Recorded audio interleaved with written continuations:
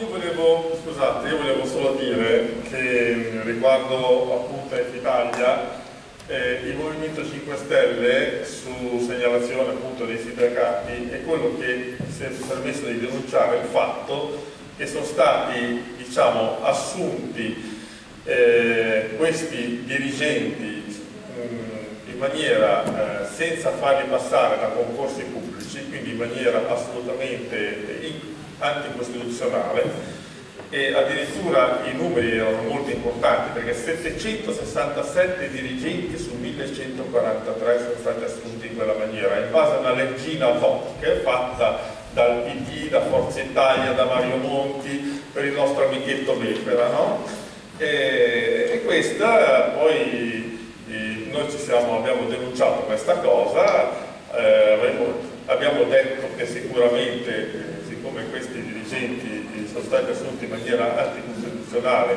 poi di conseguenza dopo gli accertamenti che sarebbero stati fatti eh, tutte le cartelle firmate da questi dirigenti sarebbero poi state nulle, infatti eh,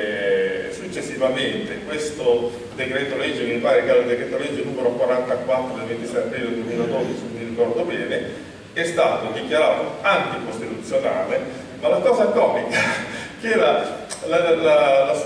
diciamo, il successore di, di, di Befera, eh, la signora Rossella Orlandi, si è permessa di dire che gli italiani avrebbero fatto meglio a pagare senza fare ricorso, che sarebbe stato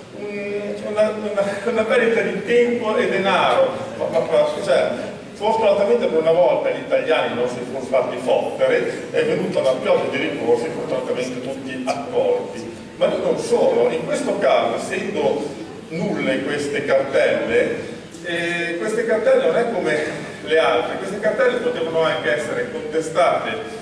eh, anche dopo, perché io non c'ero lì di tempo, era come se non fossero mai esistite, quindi non solo potevano anche essere contestate dopo che fossero arrivate dopo mesi, dopo... però addirittura il giudice poteva addirittura annullarle d'ufficio senza che il cittadino avesse neanche fatto ricorso, perché appunto è come se non erano mai esistite, erano anticostituzionali. Quindi fortunatamente questo è successo per una volta, io direi che la giustizia ha trionfato per una volta.